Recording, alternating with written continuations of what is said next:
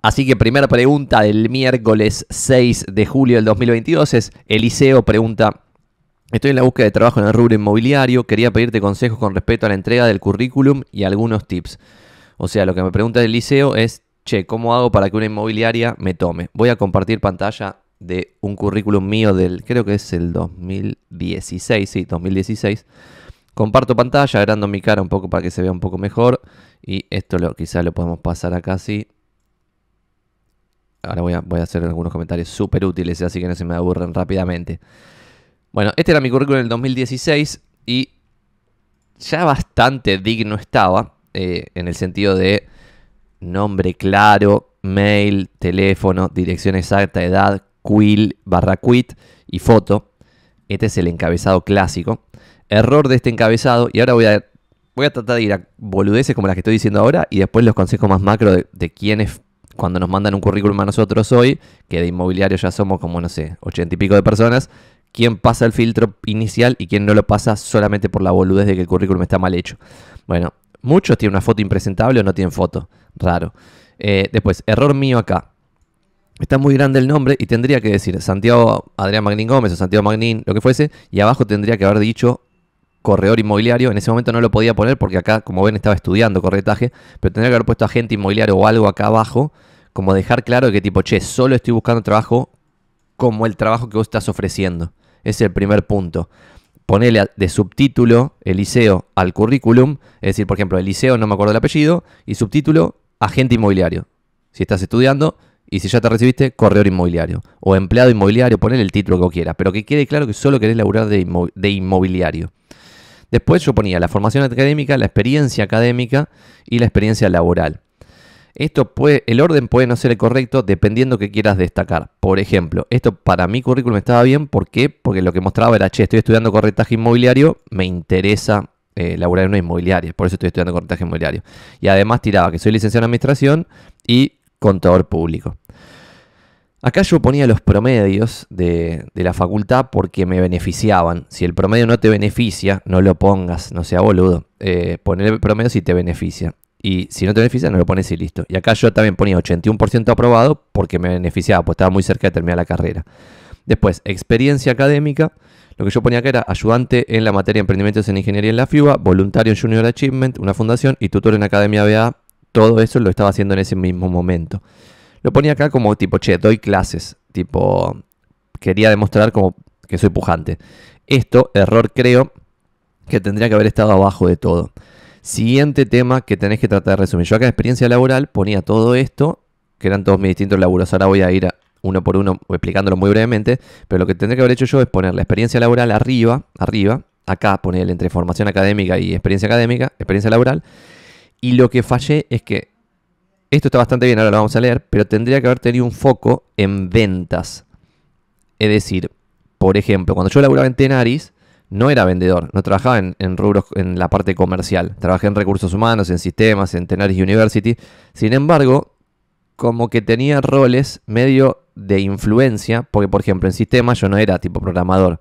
Ven lo que dice acá, dice lanzamiento de la nueva intranet, adopción global superior al 50% y creación de esquema de soporte a usuarios de alta calidad, baja del soporte en 35%. Bueno, a esto le falta un punch de ventas porque en realidad este, yo estaba desde el lado de convencer a la gente de que use la intranet que Tenaris había pagado. En consecuencia, medio que era un vendedor interno y recorría las plantas y me juntaba con distintos equipos en distintos lugares y no sé, iba, creo que había una planta en ese momento en Valentina, sé, en el conurbano había una planta que ya no está más. Entonces iba a la fábrica, hablaba con los muchachos, trataba de convencerle, che, usen esto que van a laburar mejor, van a tener más tiempo, van a ser más felices.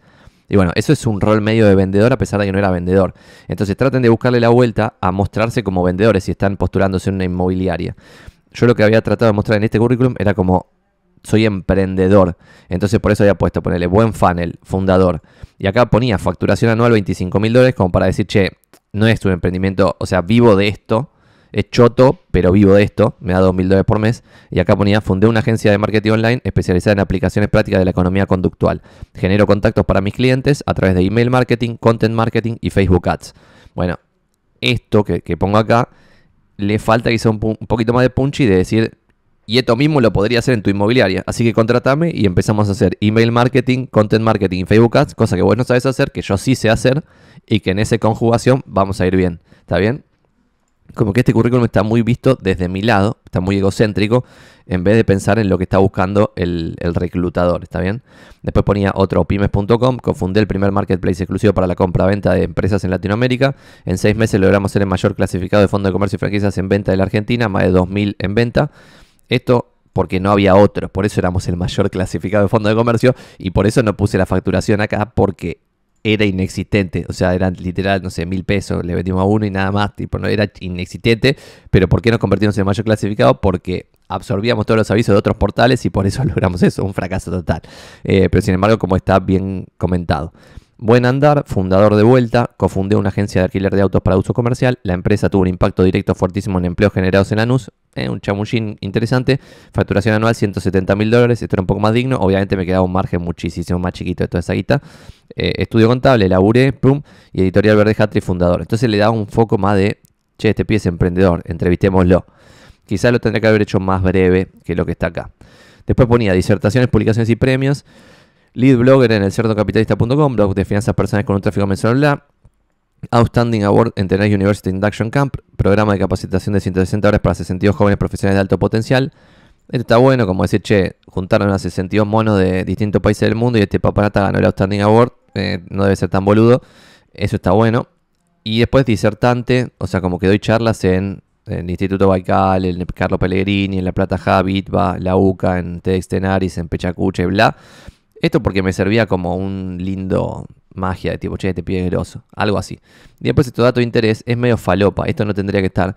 Y tendría que tener datos de interés que estén alineados a lo que vos te estás postulando. Por ejemplo, si es un puesto de vendedor, quizás algún hobby en el cual se demuestre que conoces gente pudiente, por ejemplo, juego al golf en no sé dónde, o soy miembro del Yacht Club, ahí sumaría. Y es una sola línea que es una gran línea que suma. Eh, todo esto que hizo cursos en psicología y bla, a nadie le importa. Por lo tanto, o acá puse dropout de las carreras de edición y economía en la UBA, a nadie le importa. Miembro del Instituto Baikal, a nadie le importa. Eh, y otras boludeces. Y después, ah, otro error básico. Presencia en redes sociales, acá ponía tipo LinkedIn, Twitter, Facebook. Lo que tendría que haber puesto acá eran redes profesionales, si se quiere. Entonces tendría que haber hecho un medium y esto, si llegas a hacer esto, te toman en cualquier inmobiliario. Tendría que haber hecho un medium y en el medium hacer, por ejemplo, 10 posteos inmobiliarios y poner presencia en redes sociales, medium Sarasa. Haces que algún amigo tuyo comente a esos 10 posteos para que tengan interacción los 10 posteos. Y entonces acá ponerle en la experiencia laboral, si vos pones en algún lado que tenés experiencia en generar contenido y podés demostrar que te es un medium con algunos posteos que tienen algún, interés, podés sumarla a la inmobiliaria de algún lado. O sea, tenés que encontrar la beta de vendedor dentro de lo que sea tu experiencia. No sé si se entendió. ¿Se entendió algo esta explicación? Traté de hacerlo breve. Para mí, yo ya si recibo un currículum, que la parte de arriba dice el nombre, abajo dice inmobiliario o algo así. Eh, tiene los datos de contacto clave que son mail, teléfono, dirección, edad y quit. Y una buena foto, ya ahí empezás muy bien. Si después la primera línea, después de todo eso, y saquen todos esos chamullos berreta de tipo, quiero agregarle valor, el no sé qué, todos quieren eso, pues si no, ni siquiera me estarías mandando el currículum. Tiene que decir algo concreto de tipo, por ejemplo, una sola línea que podría agregar valor. Sería, tengo experiencia en marketing de contenidos, creo que a su inmobiliaria le vendría muy bien generar prospectos a través de marketing de contenidos. Cosa que vi en internet que no están haciendo. Háganlo. Si me contratan a mí, lo vamos a hacer eh, súper bien y al toque. ¿Se entiende? Eso de marketing de contenidos lo pongo como ejemplo. Puede ser lo que sea que ustedes sepan hacer. Pero es como traten de encontrar alguna habilidad que pueda estar relacionada con generar prospecto de clientes y relacionenlo con la inmobiliaria a la cual se están postulando.